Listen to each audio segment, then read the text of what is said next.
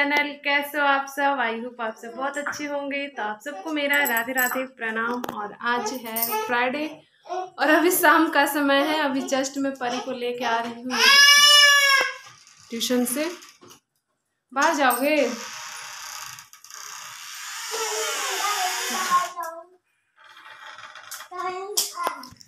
तो परी को छोड़, पाँच बजे छोड़ने जाती ट्यूशन। फिर एक घंटे में मुझे बर्तन धोना, वो झाड़ू लगाना कृष्ण को संभालना ये झट सट करती हूँ फिर उसके बाद फिर इसको लेने का टाइम हो जाता है तो अभी साढ़े छः बज रहे हैं अभी जस्ट मैं इसको लेके आ रही हूँ हाँ बेटा सबको अपनी शक्ल दिखा दे क्या पढ़े आप one two three one two three चलो पोएम सुना दो रैन रैन गो अवे रैन रैन गो अवे खम्मा शाही road road rain rain go away खम्मा शाही रोड रोड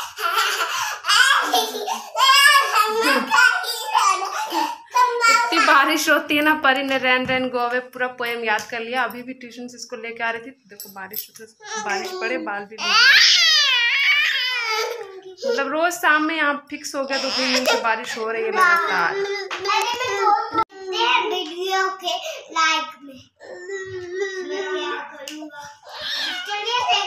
गोल गोल घूम जाओ, कृषु, गोल गोल। हाँ? चलो चलो। कहाँ चले?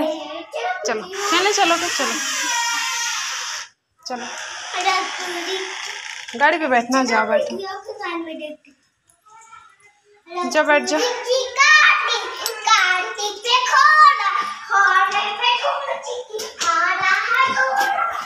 चलो।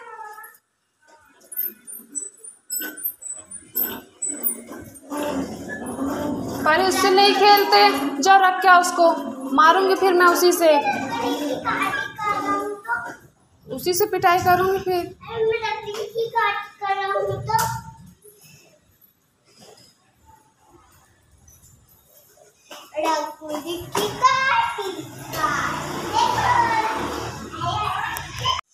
रोज रोज बारिश बारिश लगा रखा है।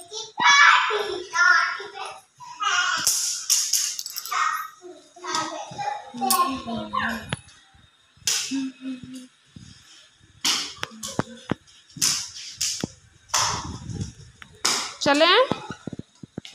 कृष्ण चले?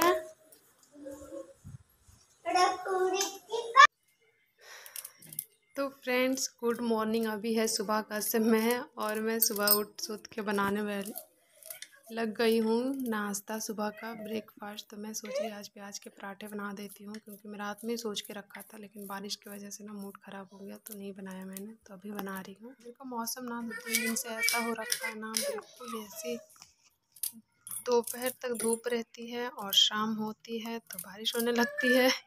पूरा आंधी तूफ़ान बारिश परी तो डर आती है। अब तो बड़ी हो रही है धीरे धीरे तो इतना नहीं डरती जब छोटी थी ना तो थोड़ा सा भी बादल गरजता था ना तो बिल्कुल गोद में ही बोलती थी, लेके बैठो मुझे। लेकिन अब वैसे नहीं बोलती। अब बोले कि, मम्मा, बारिश आ रही है। लाइट भी कट जाती है ऐसा मौसम करता है तो तो धीरे धीरे करके मैंने सारे प्याज को काट लिए और इसमें मैं डालूँगी छोटे छोटे।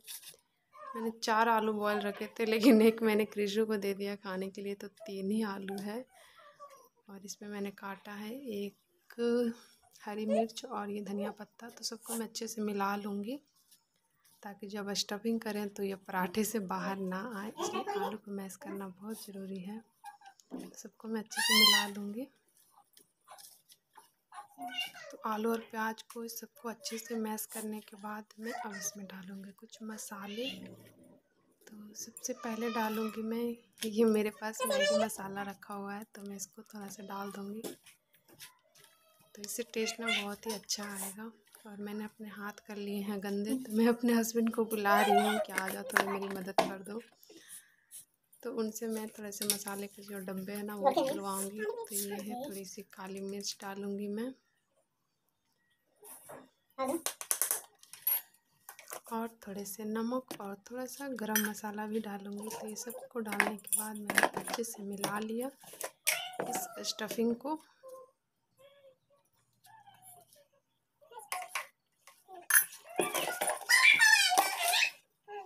हस्बैंड लोग हेल्प करते ना किचन में तो दिल को सुकून मिलता है। मैं तो बहुत कम ही बार ऐसा होता है कि हम लोग खाना बनाए और बताए तो जब भी रहते हैं तो मैं तो थोड़ा बहुत हेल्प करवा ही लेती हूँ और वो भी अच्छे हैं कर कर भी देते हैं। तो ये देखो मेरी स्टफिंग मिल के तैयार हो गई है। तो स्टफिंग को मैंने एक साइड रख दिया और मैं लगा रही हूँ आटा। तो आटे में मैं थोड़ा सा डालूँगी नमक उसको अच्छे से मिला लूँगी। ताकि आटा जो है मेरा बहुत अच्छे से लग जाए। और पराठे में ना नमक डाल के ही आटा लगाना चाहिए। तो मैं अच्छा सा सॉफ्ट सा एक आटा लगा के तैयार कर रही हूँ।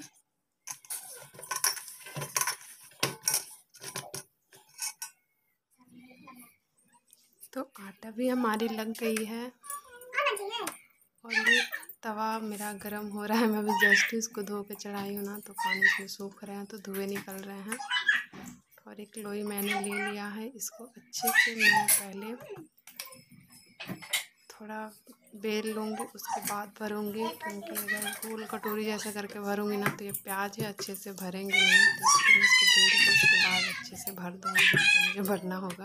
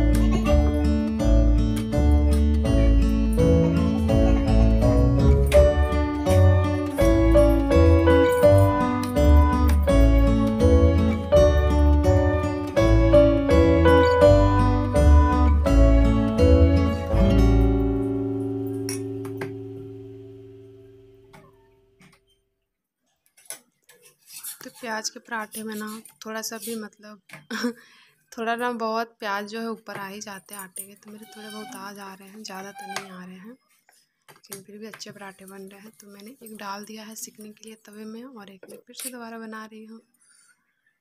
तो ऐसे ही थोड़े थोड़े करके सारे पराठे मैं आज बनाऊँगी।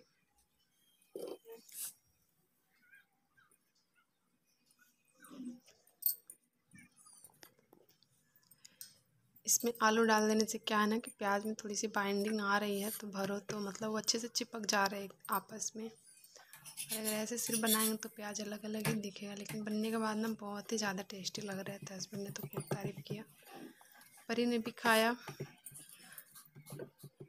तो ये मैं दूसरे वाले भी बेल के तैयार कर रही हूँ और वो भी लगभग पक गए हैं। उसको धीमी आँच पे पका रही हूँ ना मैं तो थोड़ा टाइम लग रहा है।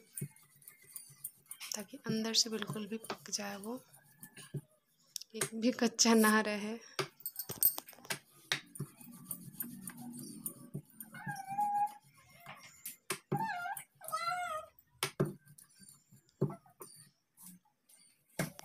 तब दोनों साइड से मेरे पराठे सीख गए हैं। इसको मैं ऊपर से लगाऊँगी थोड़ा सा तेल?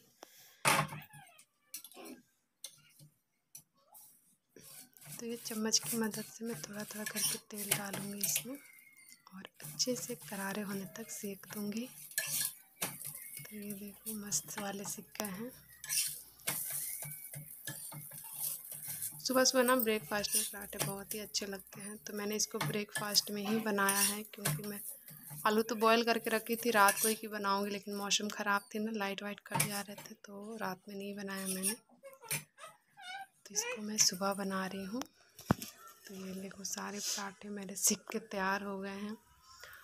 तो फ्रेंड्स आई होप आप लोग को पराठा अच्छा लगा होगा। Thanks for watching bye bye